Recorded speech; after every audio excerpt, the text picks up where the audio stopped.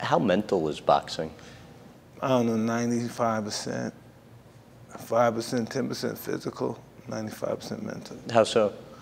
Because um, like we were explaining everything, our um, only purpose of our body is just to carry our brain, you know. That's really the only purpose. So the brain has to um, register the success factor in everything we do. What emotions would go through you as you're walking from the dressing room to the ring for a fight? I used to think um, it was being ferocious to tell people I can't wait to get my hands on them, but it's really nothing but fear. Being embarrassed, being beaten, being knocked out. So as you're walking to the ring, you're thinking you're afraid, embarrassed? Yeah. Why do you think that was? Um, I don't know. That's just what it is. That's just how I deal with my pain and my pressure and everything, you know. But at the same time, I mean, you wanted to kill your opponents, essentially. You said you that's what you would get yourself to think about yeah, going into know. a fight, right? I really don't know, but really in all fights, I have to tell you that we're we're prepared to do this, but this is like um, sleepwalking. Fighting is like sleepwalking. Guy just knows how to do it. You know, it just depends on what spirit he brings with him, but he knows how to do it. Even if he doesn't train, he knows how to do it. And um, I don't know. One thing I could ever say, I know out of out of sounding tough, I always want to say I wanted to kill. I can't wait to get my hand, but I'm always scared to death. Always really scared. And that's what I can remember. That's all I can remember about fighting, about being afraid. I mean, that's a big part of fighting, is being afraid. Did being afraid help you in the I would fight? say so, yeah, no doubt about that. But um, that's what fighting is. Um, a, a, great deal of fighting has fear in it. Fear is a great, great asset and a great, um, I don't know, exponent, so to speak. Yeah, in the fight game. And in life in general, I think fear is a great exponent. And you tried to use fear to your advantage in another way, too. How would you try to uh, intimidate your opponents? I don't know. It just happens. You know, you can't try to intimidate. Either he is or he's not. How would you know if the opponent is? Just just know. You feel. You know, um, athletes. Um, athletes are like um, I don't know. They're like um, negotiators. Um, they just know it when they see it. From the experience and of doing it over and over for years and years, you just see it. You see it. You see when you come in the room. You just know it. You smell it.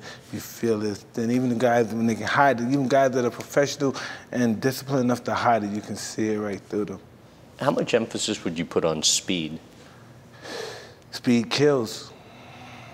Speed kills, but um, it's determination and willpower that um, that speed will have to succumb to. What does it feel like throwing a great punch? I don't know. I don't know what a great punch is. I don't know what it feels like. How do you know if you've landed one? I see the results of it, and people say it was great, and I just go along with the flow. But necessarily, I don't know if it's actually a great punch or not. What about a knockout punch? I think certain people get knocked out before they even enter the ring. Really? I don't know. Yeah, that's just the way it is sometimes. How about when you're on the reverse side of that and hit with a knockout punch? Um, you have to regroup some kind of way and come back, you know. Um, the main objective is not to get discouraged over life. I remember I used to look at all the great fighters that I looked up to admired and stuff, old timers there, and I look at the first three or four fights, two, you know, first year fighting, they got knocked out cold, one round, three rounds, they got knocked out. The next thing you know, they didn't give up, they didn't get discouraged. Next thing you know, they're going in the Hall of Fame, the legendary champion. Never heard about the guys that knocked him out. Who was his name? Who is he? What did he do? After the fight, when he knocked him out, did he get his girlfriend pregnant? Had to quit boxing? What happened? you know, no, he gave up. He the other guy didn't give up. When that punch is coming, the knockout punch, and it's being thrown at you, do you see it coming? Listen, um, I don't know. You're knocked out, you're knocked out, I guess. But you said it doesn't hurt, really. Well, you don't hits. feel it, but you know, of course, in um, and, and why is that? I don't know, because you're out cold. You don't feel, you're unconscious, I guess. But um, I'm sure you're gonna have a big headache when you wake up, but you just don't feel it. And sometimes when you're boxing a guy, you get clock, boom, and you're hurt. You, are not you're not hurt, but your legs are all over your hands. But you're like, oh man, what happened? You're like very conscious what's going on, and you know you can't protect yourself. Your legs are all over the place, but you're like, oh man, you got me. You've said before. I mean, even growing up, you wanted a lot of girls. That was the goal. But you abstained from sex for something like five years. Was that true? Yeah, because I'm an idiot, you know? Um, I'm so stupid. Um, it's, I, used to, I just went by what people told me, you know, this was the boxing's gonna mess you up, girls, boxing. Listen, I entered this, listen, I entered this profession a total brainless individual.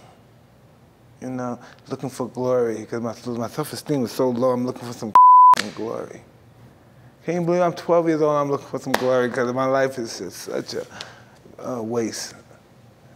It's ridiculous. I did an episode with Joe Namath for oh. the series and spent time with him What's that this past like? fall. Oh. He, he's a fascinating guy and has great stories. Oh, but so, something that I, I, thought was kind of funny that Listen, we.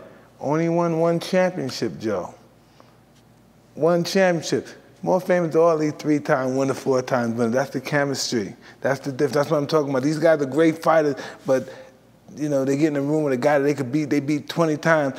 This guy, they suck all the air out the room. It's his personality. Right. You know what I mean? Can't get the, can't he beat this guy? He just can't get the acclaim this guy got. You know, it's just, it's crazy. And something that he said, just personality, was, human nature. People got it. Some people got it. Oh man. Right. And what was kind of funny was we were actually talking about picking up ladies, and he's like, you know, back then when he was kind of in his prime, he would go to a club, go to a bar, and just sit down, and that was that was the extent of the effort that he had to put in. How similarly easy was it for you?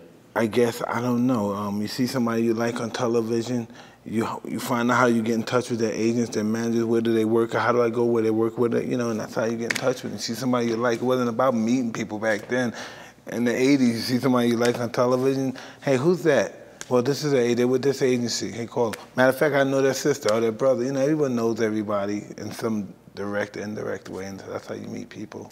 And then of course you go outside and then people think you're special, you know, because you're on television and that's the idiot box. And when people see people in the idiot box, people lose their mind and turn into idiots over the people in the idiot box. So people see me and they think, um, they don't look at me and think I'm all used up or everything. And um, and if they're smart, they run the other direction because I'm gonna mess your credit up. I'm screwing everything up on you. You know, might mess around give you a venereal disease, all kind of stuff. But you're just gonna keep on coming. All right, so come on, then. I'm a, I'm a, um, a sucker for pleasure too. But you know, if they were smart, they would get haul ass the other way. But they're not smart because they're they're um, addicted to the idiot box, which I'm on all the time. You know, so. I guess that's the way it is. I don't know what's going on here. This is just the way it appears to be. For more clips from this interview, visit grahambensinger.com.